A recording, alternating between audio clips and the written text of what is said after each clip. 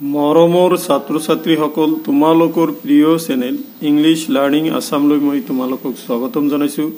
আজি মই তোমালোকৰ অহা H S first year examination two thousand twenty থ্ৰীৰ প্ৰস্তুতি হকে পলিটিকেল ছায়েন্সৰ পাৰ্ট বি, ৰাজনৈতিক তত্ত্বৰ পৰা দুটা very important long question answer অৰ্থাৎ ছয় নম্বৰৰ প্ৰশ্নৰ উত্তৰ আলোচনা কৰিম। গতিকে মৰমৰ ছাত্ৰ ছাত্ৰীসকল তোমালোকে ভিডিঅ'টো প্ৰথমৰ পৰা শেষলৈ চাবা। আশা কৰিম এই ভিডিঅ'টিয়ে তোমালোকক অহা পৰীক্ষাত সহায় কৰিব। এইখিনিতে মই তোমালোকক জনাব খুজিছোঁ যে ইতিমধ্যে হৈ যোৱা পৰীক্ষাসমূহৰ কুৱেশ্যন পেপাৰৰ চলুশ্যন এই চেনেলত আপলোড কৰা হৈছে গতিকে তোমালোকে সেইখিনিও ৰিজাই চাব পাৰিবা। আৰু যোৱা বছৰে তোমালোকৰ প্ৰিয় চেনেল ইংলিছ লাৰ্ণিং আছামে ছয়টা ভিডিঅ' পলিটিকেল ছায়েন্সৰ ওপৰত আপলোড কৰিছিল আৰু সেই ছয়টা ভিডিঅ' আৰু যোৱাকালি মই আপলোড কৰা আৰু এটা ভিডিঅ' মোৰ সাতটা ভিডিঅ' এই ভিডিঅ'ৰ ডিছক্ৰিপশ্যনত সেই সাতটা ভিডিঅ'ৰ লিংক দি আছে তাতে গৈও তোমালোকে সেই সাতটা ভিডিঅ' চাব পাৰা। কিয়নো এই সাতটা ভিডিঅ' খুবেই ইম্পৰ্টেণ্ট তোমালোকৰ অহা পৰীক্ষাৰ কাৰণে। গতিকে মৰমৰ ছাত্ৰ ছাত্ৰীসকল বলাচোন আজিৰ এই ভিডিঅ'ত থকা ইম্পৰ্টেণ্ট কুৱেশ্যন দুটানো কি? আৰু সেইখিনি কেনেকৈ চলিউশ্যন কৰিলে আমি পৰীক্ষাত শুদ্ধকৈ আনচাৰ কৰিব পাৰোঁ সেইখিনি জানিবলৈ প্ৰয়াস কৰোঁ। কুৱেশ্যন ওৱান নাগৰিকত্ব অৰ্জনৰ বিভিন্ন উপায় বা পদ্ধতিসমূহ কি কি? ছয় নম্বৰ এইটো চাৰি নম্বৰৰ আহিব পাৰে তোমালোকৰ দুই নম্বৰৰ দুটাও দিব পাৰে। দুই হাজাৰ বাৰ আৰু দুই হাজাৰ চৈধ্য চনত প্ৰশ্নটি তোমালোকৰ এইচ এছ ফাৰ্ষ্ট ইয়াৰত আহিছিল। এতিয়া মই তোমালোকক এই প্ৰশ্নটিৰ সমাধান কৰি দিবলৈ প্ৰয়াস কৰিম।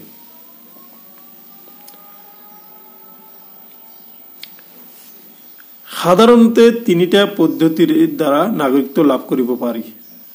এইখিনিতে আৰু এটা কথা কওঁ তোমালোকক পৰীক্ষাত দিব পাৰে নাগৰিকত্ব কি? সেইখিনিও তোমালোকে কিন্তু দিব লাগিব। আগতে যদি জানাই যে নাগৰিকত্ব কি সেই কথাটো আগতে অকণমান লিখি দিবা। মই যিহেতু ভিডিঅ'টো দীঘল হয় সেইকাৰণে মই সেইটো লিখা নাই। তোমালোকে নাগৰিকত্ব কি সেইখিনি কথাটো জানিবা আৰু ইয়াৰ আগত লিখি দিবা। লিখি তাৰপিছত এই তিনিটা পইণ্ট দিলে ছয় নম্বৰ তোমালোকে অনায়াসে কেৰি কৰিব পাৰিবা।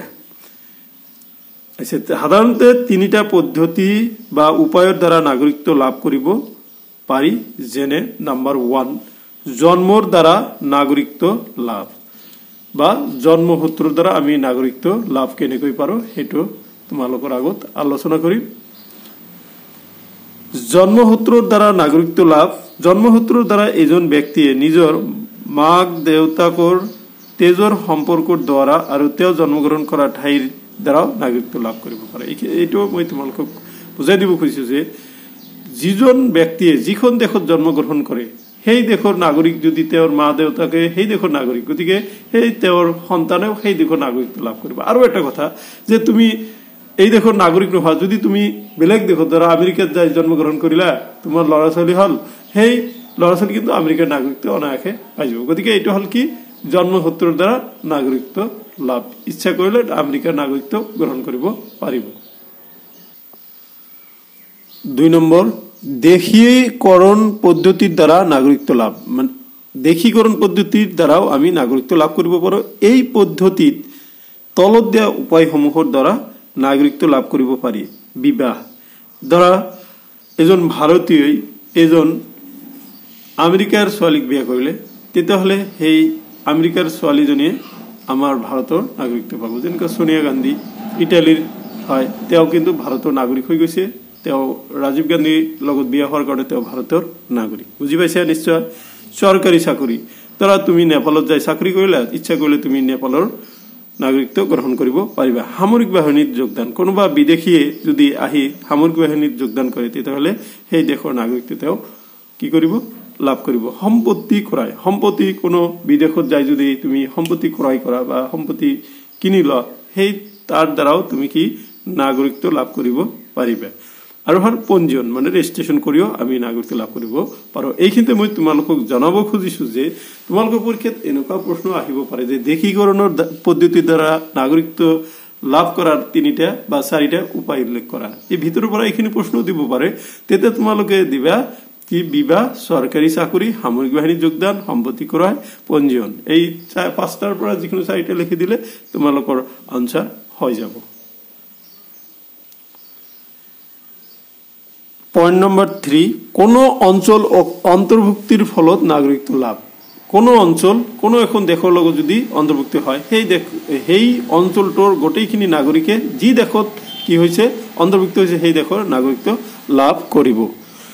এই পদ্ধতিৰ দ্বাৰা কোনো নতুন অঞ্চল ভাৰতবৰ্ষৰ লগত চামিল বা কোনো দেশৰ লগত চামিল হ'লে সেই অঞ্চলৰ জনসাধাৰণ চামিল হোৱা দেশখনৰ নাগৰিক হিচাপে গণ্য বা বিবেচিত কৰা হ'ব। বুজি পাইছেনে? ধৰা কোনো এখন দেশ বা কোনো এখন সৰু অঞ্চল এখন দেশৰ লগত চামিল হ'ল। সেই অঞ্চলত থকা বসবাস কৰা সেই মানুহখিনিয়ে যিখন দেশৰ চামিল দেশৰ লগত চামিলীকৰণ হৈছে বা মিলি গৈছে সেই দেশৰ নাগৰিকত্ব অট'মেটিকলি সিহঁতে লাভ কৰিব। চ' এই তিনিটা পদ্ধতিৰ দ্বাৰা আমি নাগৰিকত্ব লাভ কৰিব পাৰোঁ। এইটো তোমালোকৰ দুই নম্বৰ পদ্ধতি দুই নম্বৰ কুৱেশ্যনতো দিব পাৰে যে দুটা নাগৰিকত্ব লাভ কৰা দুটা উপায় উল্লেখ কৰা। তোমালোকে জাষ্ট হেডলাইন দুটা লিখি দিলে হৈ যাব। কুৱেশ্যন নম্বৰ টু জাতীয়তাবাদৰ উপাদানসমূহ কি কি? দুহেজাৰ চৈধ্য আৰু দুহেজাৰ চন ষোল্ল চনত আহিছিল। এয়া ছয় নম্বৰ আছিল। তোমালোকৰ পৰীক্ষাত দুই নম্বৰৰ প্ৰশ্ন দিব পাৰো যে জাতীয়তাবাদৰ দুটা উপাদান লিখা জাষ্ট দুটা উপাদান লিখি দিলে হ'ব, মই ইয়াতে এই জাতীয়তাবাদৰ উপাদানসমূহ কি, ইয়াতে ছয়টা উপাদান মই চমুকৈ আলোচনা কৰিবলৈ প্ৰয়াস কৰিছো। দেখাচোন এনচাৰখিনি কেনে লাগে তোমালোকৰ আনচাৰ। জাতীয়তাবাদৰ সৃষ্টিত বিভিন্ন উপাদানে সহায় কৰে। তলত এই উপাদানসমূহ আলোচনা কৰা হল। নম্বৰ ওৱান ইতিহাস। ঐতিহাসিক ঘটনা স্মৃতি কৃষ্টি সভ্যতা ঐতিহাসিক জয় পৰাজয় আদিও কোনো কোনো মানুহৰ মাজত জাতীয়তাবাদৰ সৃষ্টি কৰে। যিখিনি আমাৰ বিখ্যাত ঐতিহাসিক ঘটনা যেনেকুৱা ভাৰতৰ ক্ষেত্ৰত যেনেকুৱা ব্ৰিটিছৰ বিৰুদ্ধে আমি যুদ্ধ কৰি কি কৰিছো দেশখন স্বাধীন কৰিছো সেই যে ঐতিহাসিক ঘটনাসমূহ সেই ঐতিহাসিক জয় জয় বা পৰাজয়েও কি কোনো এখন দেশৰ বা কোনো এখন মানুহৰ মনত কি জাতীয়তাবাদৰ সৃষ্টিত সহায় কৰে। নম্বৰ টু উমৈহতীয়া বা ৰাষ্ট্ৰীয় ঐক্য। দেখিছে? উমৈহতীয়া যিটো ৰাষ্ট্ৰীয় ঐক্য আছে বহু সময়ত ৰাষ্ট্ৰীয় ঐক্য বা একতা ৰক্ষাৰ বাবে বহুতো জাতি জনজাতিৰ লোকৰ মাজত জাতীয়তাবাদী ভাৱধাৰাৰ সৃষ্টি হয়। যেনেকৈ মই তোমালোকক এইখিনিতে এটা উদাহৰণ দিব খুজিছো। আমাৰ মাজত যদি যেতিয়া ইণ্ডিয়া পাকিস্তানৰ মাজত ক্ৰিকেট খেল হ'ব, তেতিয়া দেখিবা সকলো ধৰ্ম, বৰ্ণ, জাতি নিৰ্বিশেষে সকলো মানুহে ভাৰতৰ সমৰ্থন লাভ কৰে। এই যে এইটো এটা জাতীয়তাবাদী ভাৱধাৰাৰ সৃষ্টি কৰে, এইটো এটা ৰাষ্ট্ৰীয় ঐক্য বা উমৈহতীয়া ঐক্য বুলি আমি ধৰি ল'ব পাৰোঁ। নম্বৰ থ্ৰী ৰাজ্য ক্ষেত্ৰ। পাকিস্তান ভিত্তিক একতা জাতীয়তাবাদৰ এক অন্যতম উপাদান অৰ্থাৎ ৰাজনৈতিক ক্ষেত্ৰৰ সুৰক্ষা দেশ প্ৰেম আদিয়েও জাতীয়তাবাদত সহায় কৰে। যেনেকুৱা ৰাজ্য ক্ষেত্ৰ বুলি ক'লে যে কোনো এখন ৰাজ্যৰ একতা। যেনেকুৱা আমি অসমৰ ৰাইজ অসমীয়া এই অসমীয়া মানুহৰ অসমীয়া হিচাপে এটা একতা আছে এই একতাইও কিন্তু জাতীয়তাবাদত সহায় কৰে। নেক্সট চাৰি নম্বৰ আদৰ্শ কোনো এক ৰাজনৈতিক আদৰ্শৰ প্ৰতি সমৰ্থন জনোৱাও জাতীয়তাবাদৰ জন্মত সহায় কৰে। কাৰণ কি কোনো এটা ৰাজনৈতিক সমৰ্থন আদৰ্শত আমাৰ ভাৰতীয় ৰাজনীতি মেক্সিমাম ধৰ্ম নিৰপেক্ষতাত বিশ্বাসী ইও এটা কি এটা আদৰ্শ আৰু এই আদৰ্শও কি জাতীয়তাবাদৰ সৃষ্টিত সহায় কৰে। পাঁচ নম্বৰ সময়হতীয়া বিশ্বাস। কোনো ধৰ্ম সংস্কৃতি আদিৰ প্ৰতি মানুহৰ সময়হতীয়া বা সমূহীয়া বিশ্বাসে জাতীয়তাবাদৰ সৃষ্টিত সহায় কৰে। ধৰা একে ধৰ্মৰ মানুহ একে সংস্কৃতিৰ মানুহ একে কলা কৃষ্টিৰ মানুহ এয়াকেও কি কৰে?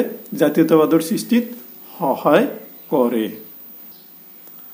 লাষ্ট উপাদানটি হ'ল উমৈহতীয়া ভাষা ধৰ্ম সংস্কৃতি। জনসাধাৰণৰ মাজত উমৈহতীয়া বাবে গঢ়ি উঠা ভাষা ধৰ্ম সংস্কৃতিয়েও জাতীয়তাবাদৰ সৃষ্টিত সহায় কৰে। আমাৰ জনসাধাৰণৰ মাজত যদি উমৈহতীয়া ভাষা যেনেকৈ আমি অসমীয়া ভাষা উমৈহতীয়া হিন্দী ভাষা ইও জাতীয়তাবাদৰ সৃষ্টিত সহায় কৰে। আমাৰ ধৰ্ম একে ধৰ্মৰ মানুহৰ মাজতো জাতীয়তাবাদৰ সৃষ্টিত সহায় কৰে। সংস্কৃতি অসমীয়া সংস্কৃতি বেংগলী সংস্কৃতি এইবিলাকেও ৰাজ্যভিত্তিক জাতীয়তাবাদৰ সৃষ্টিত সহায় কৰে। গতিকে এইখিনিয়ে আছিলে কি?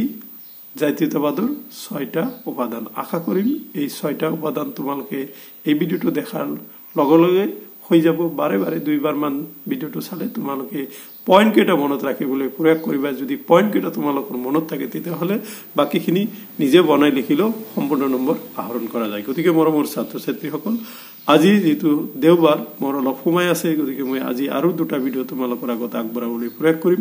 আৰু তোমালোকে সেই দুটা ভিডিঅ' চাইও উপকাৰ হ'বা বুলি আশা ৰাখি আজিৰ ভিডিঅ' ইয়াতে সমাপ্ত কৰিলোঁ। Thank you so much